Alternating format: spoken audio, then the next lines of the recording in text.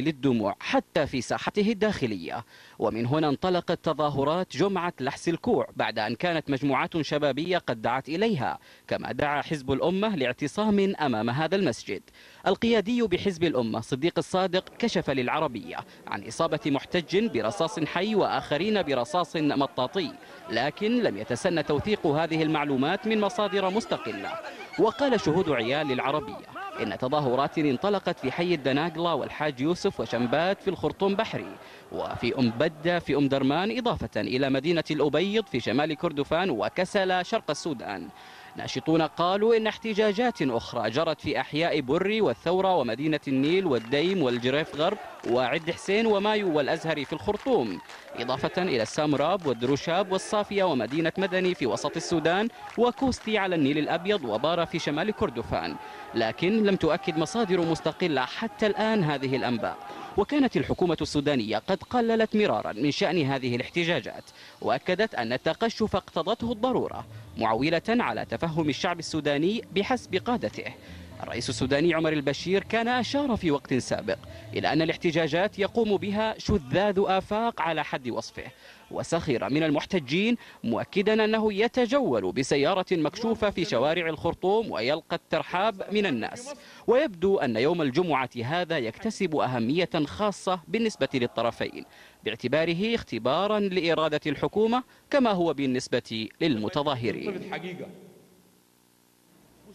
أتابع من هنا من الاستوديو مع خالد عويس الكاتب الصحفي السوداني. أهلا وسهلا بك معنا آه، زميل خالد.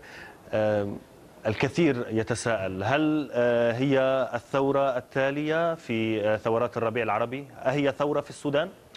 ربما وهناك مؤشرات ربما تتضح أكثر خلال الأسبوع القادم لكن بلا شك أن ما نراه اليوم من احتجاجات آه، يعني آه، هذه الاحتجاجات اليوم آه، يتسع نطاقها تدريجيا جغرافيا وبشريا بمعنى الكثافة البشرية التي تشارك اليوم أكثر من السابق واتساع نطاق الاحتجاجات في عدد إضافي من المناطق في الخرطوم وفي مدن أخرى.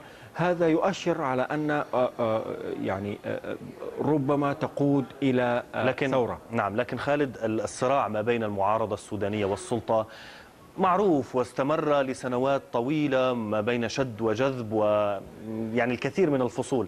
ما الذي يختلف هذه المرة في هذه الاحتجاجات عن بقية الصراعات السابقة. ال ال الذي يختلف هذه المرة أن من من يقود الاحتجاجات الآن في الشارع ومن آه، بادر بهذه الاحتجاجات آه، هم الشباب. شباب من المجموعات الشبابية الناشطة في السودان وشباب من داخل القوى السياسية المعارضة آه، هؤلاء الشباب تجاوزوا حتى القيادات السياسية.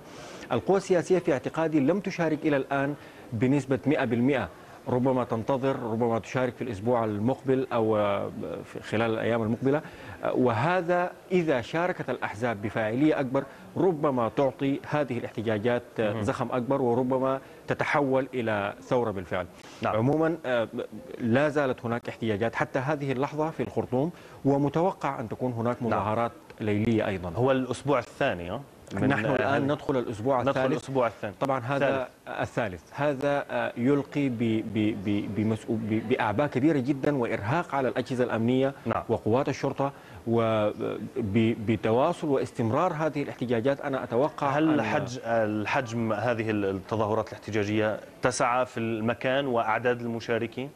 آه، إلى الآن أنا أعتقد أن المحتجين آه، يعملون من خلال تكتيكات. الهدف منها آه، هو إرهاق القوى الأمنية وأجهزة الشرطة وهذا الإرهاق نتج عنه اليوم آه، إصابة محتجين برصاص مطاطي حسب بعض المصادر ورصاص حي بعض بحسب بعض المصادر الأخرى. آه، إلى الآن الاحتجاجات إلى حد كبير هي احتجاجات محدودة وبعمليات كر وفر. القصد الأساسي بحسب يعني التكتيكات في اعتقادي أنها من أجل إرهاق القوى الأمنية وقوات الشرطة في السودان. وهناك يعني إرهاصات لهذا الإرهاق بدأت تظهر في الشارع. شكرا جزيلا لكم خالد دعويس الكاتب الصحافي. كنت معنا هنا في الاستوديو.